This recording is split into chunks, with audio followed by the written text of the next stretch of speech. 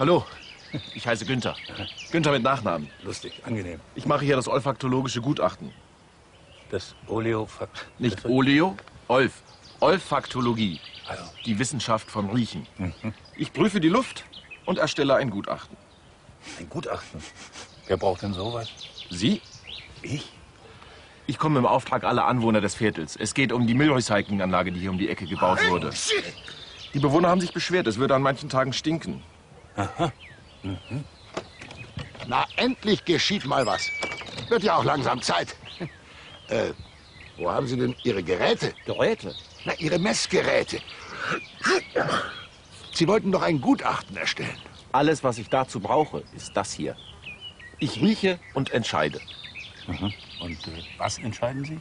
ob Ihre Beschwerde berechtigt ist. Ah ja, und äh, ist sie denn berechtigt? Ich würde sagen. Schwefelwasserstoff. Riecht ein bisschen wie faule Eier. Riechen Sie denn gar nichts? Entschuldigen Sie, ich bin ein bisschen verschnupft. Naja, Sie sind ja auch nicht mehr die Jüngsten. Na, hören Sie mal. Das ist nicht bös gemeint. Aber Kinder können nun mal am besten riechen.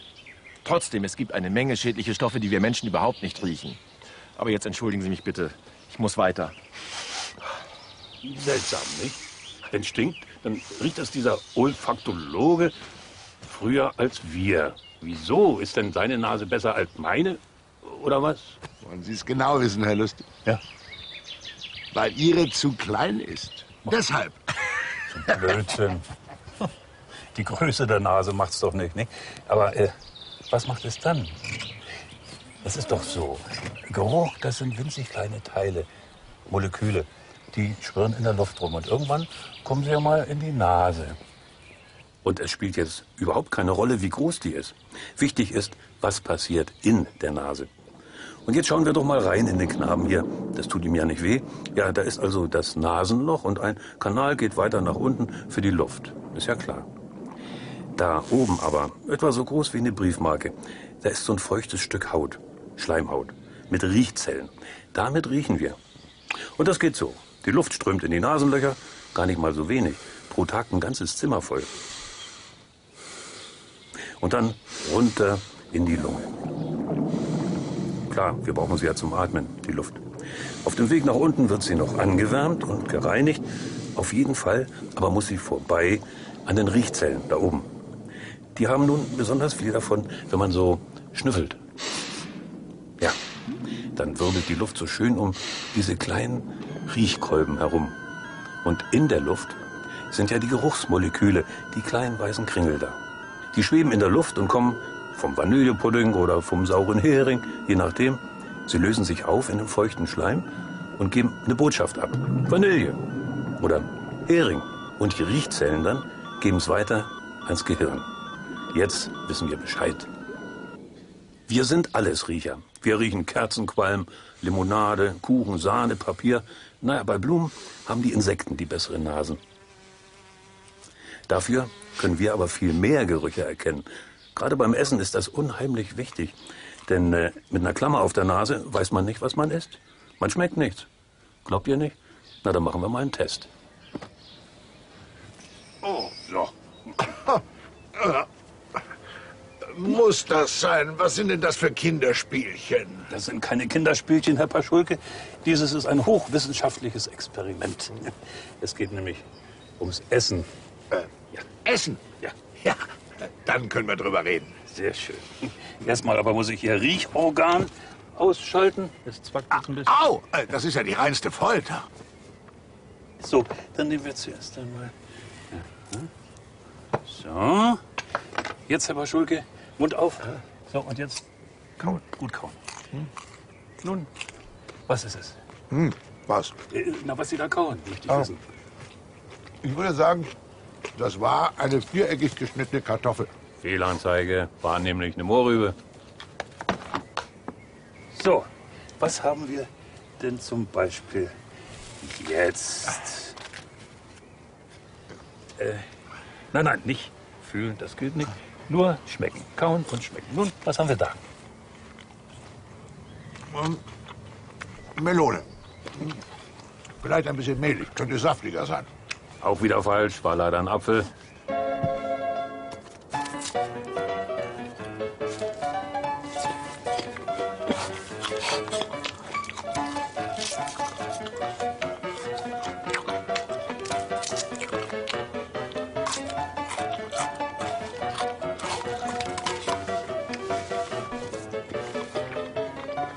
Tja, es ist so, wie ich vermutet habe, Herr Paschulke. Sie haben leider nur eins richtig geraten, alles andere ist falsch. Sie wollen mich wohl verkackeiern. Aber nein, hier, sehen Sie doch selber, die Liste. Sie können mir viel erzählen. Ich hatte ja die Augen verbunden. Nein, nein, nein, nein. Wenn Sie beim Essen nicht riechen können, dann können Sie auch nicht schmecken. Hä? Ja. Ohne Geruch kein Geschmack. Aber der Geschmack ist doch das Wichtigste. Wenn ich nicht schmecke, habe ich keinen Appetit. Wenn ich keinen Appetit habe, verhungere ich. Sie verwechseln da was, mein Herr. Denken Sie doch nur daran, wie viele verschiedene Geschmäcker es gibt. Eisbein, Sauerkraut, Curry, Ketchup. Unendlich viele. Sie, Sie wollen doch nicht etwa behaupten, dass es mehr Geschmäcker gibt als Gerüche. Wetten? Angenommen. Ich schlage vor, wir machen jeder eine Liste. Jawohl, eine Liste. Eine Liste. Sie suchen verschiedene Geschmäcker. Verschiedene Geschmäcker, ja. Ich suche verschiedene Gerüche. Sag ich doch. Die schreiben wir alle auf. Ja. ja. Dann treffen wir uns wieder heute Abend äh, um sechs. Ja. ja.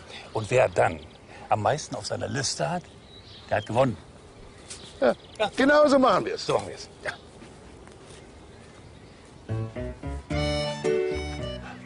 Für eine Geruchsexpedition braucht man zwei Dinge. Eine gute Nase und ein Diktiergerät. Die Nase ist ja nicht umsonst ganz vorne. Nicht? Die zerteilt die Luft wie der Bug eines Schiffes das Wasser.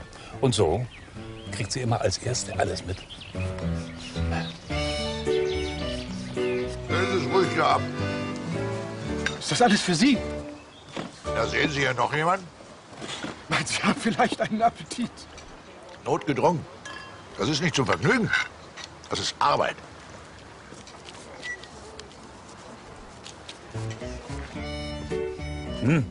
Stinkt's. Naja, alles klar. ähm, Abwässergulli. Ist was? Ah, das riecht gut. Das ist äh, frisch gemähter Rasen, würde ich sagen.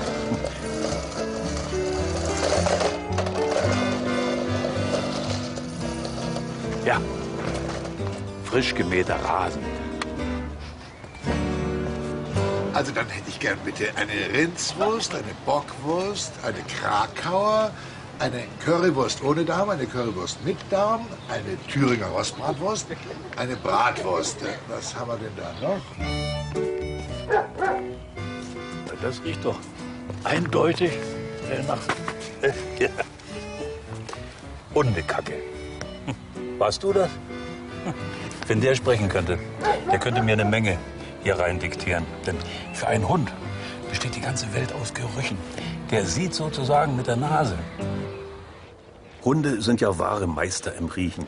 Und besonders der hier, das ist ein professioneller Schnüffler. Fest angestellt bei der Polizei.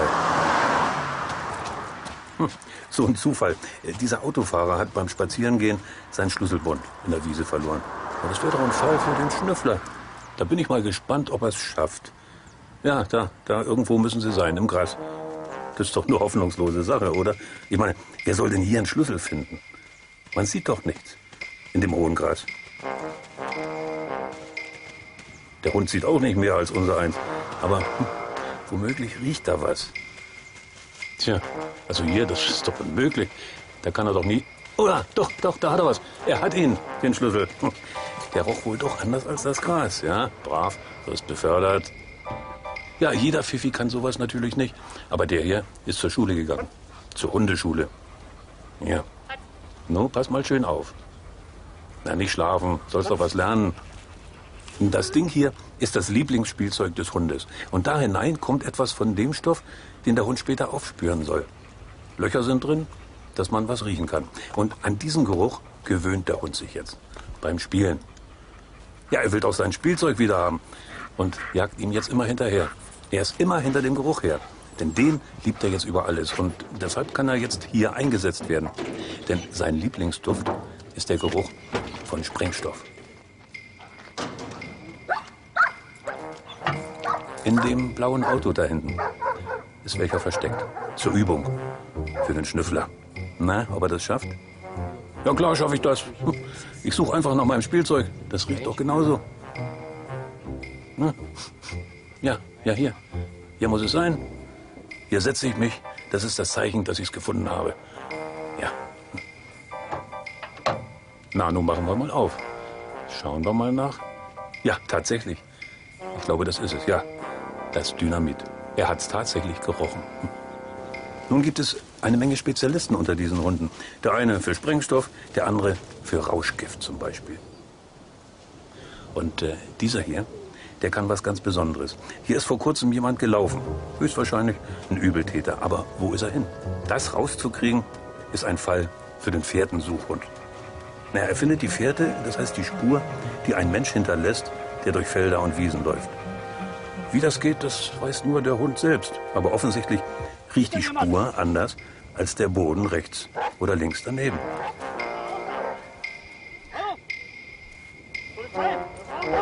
Na bitte, der Böse ist gestellt. Seine Spur hat ihn verraten. Guter Riecher. Aber wie ist es denn nun mit dem Riecher des Nachbarn?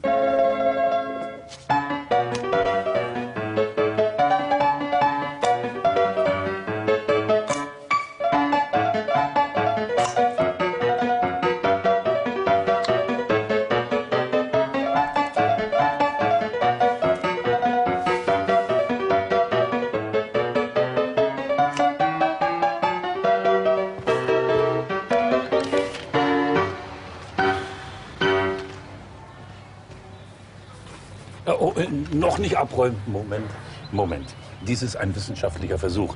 Ja. Nun, was haben wir denn da? Äh, Krakauer. Krakauer hm, eher fettig. Ja, Breslauer?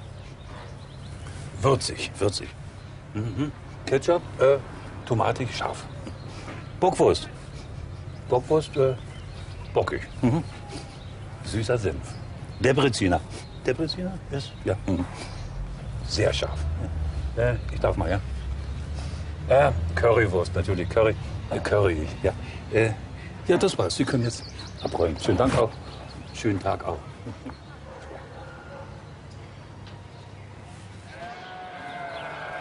Aha.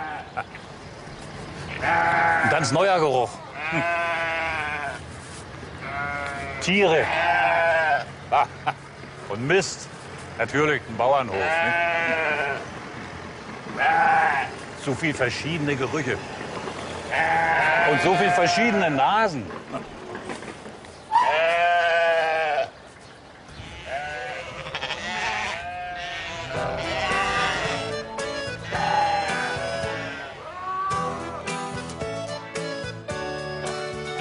Jedes Tier hat seine eigene Nase. Meerschwein, Hamster, Katze oder Hase. Grunzen, Schnobern, Mümmeln und Trompeten. Alle Nasen werden hier vertreten. Schnüff, schnüff, wer schnüffelt denn hier? Kennt ihr das Tier? Schnüff, schnüff, wer schnüffelt denn da? Ach so, alles klar.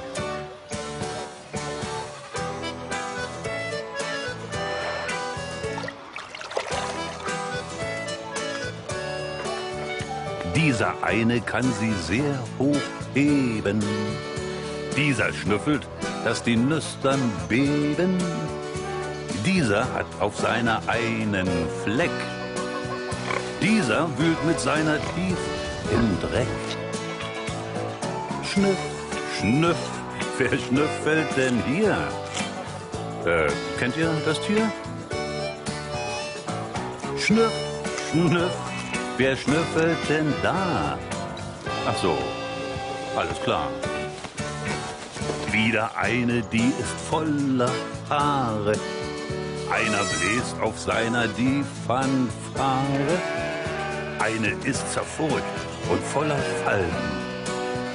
Einer kann mit ihr den Eimer halten. Schnüff, schnüff, wer schnüffelt denn hier? Kennt ihr das Tier? Schnüff, schnüff, wer schnüffelt denn da? Ach so, alles klar.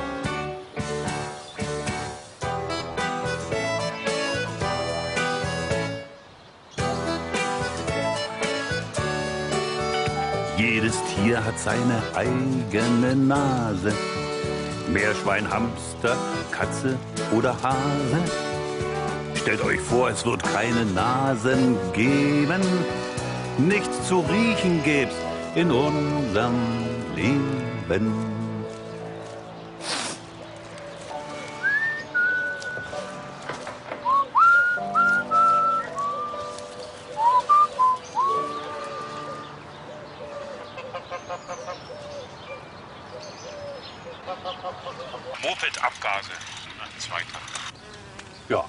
Es nur zwei verschiedene Arten von Gerüchen. Nicht? Gute und schlechte. Oder sagen wir mal angenehme und unangenehme. Hm?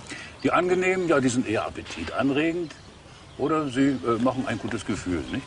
Die unangenehmen, das sind Warngerüche eigentlich. Nicht? Zum Beispiel ist das nicht, das ist verdorben. Ja, und dann ist die Nase auch sehr wichtig beim Orientieren. Hm? Manchmal sieht man etwas ja nicht, aber man kann es schon riechen. Hm? Ah, und dann gibt es noch die schönen Düfte. Schon die alten Ägypter, lacht nicht, die hatten eben alles ein bisschen früher. Also schon die alten Ägypter schätzten künstliche Wohlgerüche. Nicht so sehr die schönen Damen, sondern eher die Priester und Könige. Der Duft machte das Volk fromm. Das hier ist ein altägyptisches Parfümlabor. Weihrauch, Sandelholz, Zimt und Lotus werden hier zusammengebraut. Auch Mumien wurden damit parfümiert. Na, die ollen Römer haben die schönen Düfte natürlich noch verfeinert. In ihren Luxusbädern zum Beispiel. So ein wohlriechendes Lotterleben konnten sich nur die reichen Patrizier leisten. Auf ihren Toilettentischchen standen immer mehr Parfümflaschen. Safran, Narzisse, Rosenöl, Veilchenessenz. Die Zutaten zu all diesen Gerüchen kamen damals aus Arabien. Auch die meisten Gewürze. Und die Duftstoffe waren ja Verwandte der Gewürze. Ein arabischer Arzt fand heraus, dass man ätherische Öle, also das, was so gut riecht, in Alkohol lösen konnte. Das machte die Parfüme haltbarer. Ja, und jetzt waren die Wohlgerüche nicht mehr aufzuhalten. Paris wurde zum Zentrum der schönen Düfte. Jeder, der sich's leisten konnte, benutzte ein Duftwässerchen. Nicht jedoch, um besonders gut zu riechen, sondern um nicht so zu stinken. Die Leute nämlich wuschen sich selten damals. Eine Abwasserkanalisation gab's auch noch nicht. Paris war eine stinkende Stadt. Da half nur jede Menge Parfüm oder, in ganz schlimmen Fällen, das Riechfläschchen. Na, Nase zu und durch. Das war die Zeit der Parfümeure. Sie wurden reich und berühmt und rund um Paris entstanden riesige Anbauflächen für die duftenden Blumen und Pflanzen. Acht Millionen Lavendelblüten waren nötig für ein Kilo Duftextrakt. Das war denn doch zu teuer und deshalb erzeugten Chemiker die Wohlgerüche künstlich im Labor. Das roch nicht schlechter und man konnte, und heute kann man es noch besser, den Duft genau designen. Und so haben wir denn heute, obwohl wir ja nicht mehr stinken, die passenden Gerüche. Für den Herrn, im Rasierschaum zum Beispiel. Und natürlich noch viel mehr für die Dame, in den Deos, in den Cremes, im Lippenstift, auch in der Zahnpasta. Aber auch in Cornflakes und im Käse und in der Wurst. Überall sitzen künstliche Gerüche. Das waren noch Zeiten, als es nur sehr wenig schöne Gerüche gab. Ne? Wohlriechende Pflanzen, Kräuter und so. Hm. Räucherstäbchen hat es ja auch schon immer gegeben. Aber so geht's auch. Das ist viel einfacher. Hm? Zimtstangen verbrennen. Hm? Riecht herrlich. Ah. ah der Herr äh, Olfaktologe. Riecht aber gut bei Ihnen. Ja, sage ich ja. Leider stört's. Ach, wieso? Wir haben doch hier überall diese Sonden aufgestellt, die die Schadstoffbelastung messen sollen. Und von hier, da wehen einfach zu viel Rußpartikel rüber. Das verfälscht die Messergebnisse. Ah, ich verstehe. Naja, aber das ist gleich weggebrannt hier. Was ist das? Zimtstangen. Uraltes Rezept, die gibt's überall. Ich habe sie mitgebracht von meiner Geruchsexpedition. Geruchsexpedition. Ja, äh, hier. Hm. Über 80 Gerüche habe ich hier drin. Und damit gewinne ich. Gewinn. Ja, ich habe mit dem Nachbarn gewettet. Da, ah, da ist er ja. Herr Pascholke, Sie, Sie sehen ja so unglücklich aus. Sie sind gut. Diese blöde Wette. Ich bin stinksauer. Aber warum denn? Na, hören Sie mal. Das Riechen, das ist umsonst. Aber für das Schmecken muss man teuer bezahlen. Hier, sehen Sie mal. Ach, äh, ist das Ihre Liste? Ja. Darf ich mal? Naja, doch, sind doch ordentlich viel Geschmäcker zusammengekommen. Nicht? Was haben wir denn da so? Erdbeertörtchen, mächtig süß. ja, Eisbein mit Sauerkraut, salzig, sauer, hm, logisch. Currywurst, ne? salzig scharf, ja? Kaffee, bitterlich. Also, wenn ich richtig verstanden habe, darf ich mal? Dann haben Sie darum gewettet, welcher von unseren Sinnen der vielseitigere ist. Das Riechen oder das Schmecken. Ja. Eine hoffnungslose Wette für den, der den Geschmack gewählt hat. Aber wieso denn? Weil wir nur vier Geschmäcker unterscheiden können. Nämlich bitter, salzig, sauer und süß. Aber wie kommt es dann, dass ich nur am Geschmack zum Beispiel Rinderbraten von Schweinebraten unterscheiden kann? Weil Ihnen Ihre Nase dabei hilft. Sie nimmt die ganzen Gewürze und das Aroma auf. Also ist beides wichtig, nicht? Das Riechen und das Schmecken. Auf die Kombination kommt es an. Oh,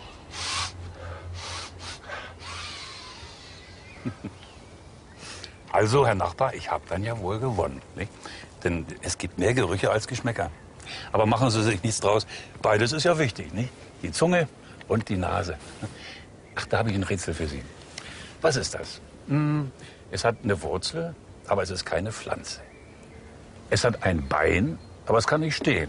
Es hat zwei Flügel, aber es kann nicht fliegen. Es kann laufen, aber es kommt nicht vom Fleck. Was ist das?